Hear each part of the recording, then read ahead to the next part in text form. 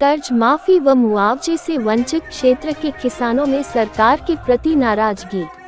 महावीर मुंडली, मानगरोल हर बार चुनावों के वक्त सभी राजनीतिक दलों द्वारा किसानों के बीच की जाने वाली घोषणाओं के बाद भी खेती किसानी से जुड़ी मूलभूत एवं अत्यावश्यक समस्याओं का समाधान किसानों के काफ़ी प्रयासों के बाद भी नहीं हो पाता। है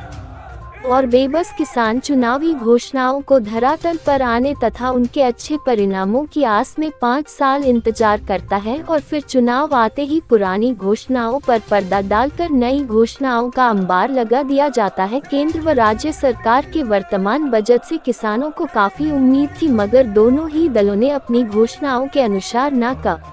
आज माफ़ी का वादा पूरा किया और न ही फ़सलों का न्यूनतम समर्थन मूल्य निर्धारित किया गया। इसी बात से नाराज़ किसान अब वादा खिलाफी करने वाले दलों व उनके प्रतिनिधियों को सबक सिखाने की तैयारी में जुट रहा है। संयुक्त किसान संघर्ष समिति के ग्यारहवे स्थापना दिवस पर कृषि उपज मंडी मानगरोल में आयोजित किसान महासम्मेलन में विधानसभा क्षेत्र से तकरीबन 110 गाँवों से बड़ी संख्या में जुटे किसानों ने एक स्वर में कहा कि गत विधानसभा व लोकसभा चुनाव में दोनों ही दलों की ओर से राष्ट्रीयकृत बैंकों से जुड़े किसानों की कर्ज माफ़ी का वादा किया गया था, जो आज भी अधूरा है। फ़सलों का समर्थन मूल्य तथा फ़सल खरीद गारंटी कानून लागू करने के साथ साथ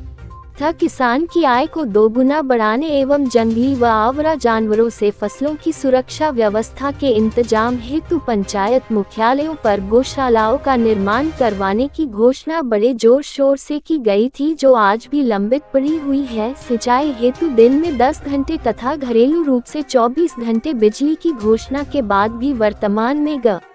ग्रामीण इलाकों में हर रोज बिजली कटौती जारी कर दी गई है। साथ ही साथ ग्रामीण इलाकों में पिछले पाँच सालों से सड़कें पूरी तरह खस्ता हाल पड़ी है। वही क्षेत्र की ग्रामीण जनता को साफ़ पानी का सपना दिखाकर वर्तमान में भी गाँवों के लोगों को फ्लोराइड युक्त पानी पीने को विवश किया जा रहा है। फ्लोराइड युक्त पानी के कारण ग्रामीण अन्य इलाकों में लोगों में कई बीमारियाँ पनप रही है जो आम जनता के जीवन से खिलवाड़ है। सभा को राकेश मीना, नैनुराम बैरवा, शिशुपाल मीना, राजेंद्र मीना, नदलाल मीना, मानगरोल चेयरमैन कौशल सुमन, महावीर पांचाल, मनोज कुमार, सीमा खान, दिलीप मीना सहित कई वक्ताओं ने संबोधित करते हुए कहा कि पहले केंद्र व राज्य सरकार अपनी अधूर घोषणाओं को पूरा करे, फिर किसानों के बीच वोट मांगने आए। अन्यथा अधूरी घोषणाओं पर आगामी चुनावों में परिणाम निश्चित ही विपरीत होंगे। संयुक्त किसान संघर्ष समिति के संयोजक रामचंद्र मीना ने कहा कि क्षेत्र का किसान दोनों ही सरकारों से उम्मीद लगाए बैठा है। किसानों का साथ पाना है तो किसानों की वाजिब समस्याओं का स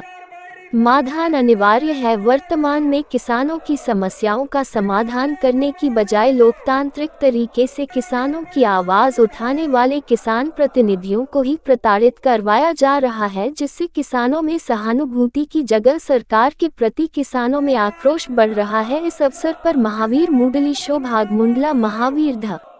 मरखेड़ी गंगाधर, मीना रामरतन, मीना रणवीर, बैरवा रामगोपाल, दिनेश कुमार शोभाग धाकर गिरिराज, मीना सत्यनारायण, महेंद्र, मीना सहित बड़ी संख्या में किसान शामिल थे। सभा के दौरान उपस्थित किसानों द्वारा सर्वसम्मति से अपनी मुख्य समस्याओं को चिन्हित कर एक प्रस्ताव पारित किया गया जिसमें मुख्य रूप से किसानों की समी अन्य कर्ज माफ़ी व 2022 खरीफ फ़सलों का अभी तक रुका हुआ मुआवजा राशि को तत्काल जारी करना क्षेत्र में 2020 2021 के बीमा क्लेम से वंचित रहे भटवाड़ा गाँव व अन्य किसानों को बीमा राशि जारी करने सहित अन्य मांगों को प्रमुखता से प्रस्ताव में शामिल कर सरकार से शीघ्र समाधान की मांग की गई इस अवसर पर।